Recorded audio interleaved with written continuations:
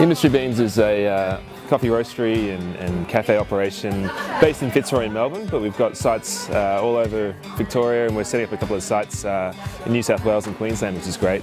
We're a 70 strong company. Uh, we're taking on a lot more in the next year, which is exciting. Uh, our main focus is on roasting high quality specialty coffee, which we source ourselves from around the world, and delivering that to cafes, restaurants, hotels, and also to people who just like drinking coffee at home.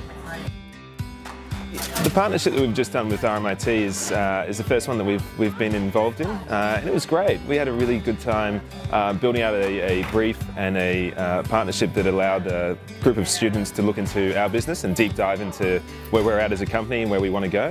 And at the same time we got the opportunity to work with 40 great marketing students in identifying new, new markets for us, uh, new opportunities and uh, utilising their resources to get some outcomes that we'll hopefully see come out uh, in, the, in the future.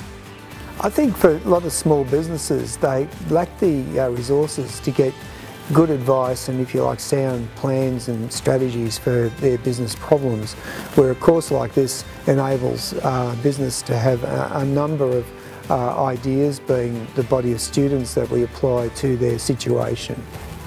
I think for the university uh, and, and, its staff, these programs are terrific because they enable us to uh, get a real world understanding uh, demonstrate our, our, capacity and capability and also um, uh, put, put the real uh, back into education. I think the interesting thing for a business like ours is now realising that there is those partnerships out there for us, that we do have opportunities to utilise uh, resources such as RMIT. Uh, in fact, we've now got uh, four data analytics uh, interns starting in a couple of weeks, and that'll be a really cool process. We'll see how uh, how we can add value to our own internal processes and also utilise their skills and, and knowledge. Uh, and it'll be, again, it'll be a mutually beneficial partnership that will keep going. So it's just something that we've, we're just getting started in and we'll, we'll continue to do so.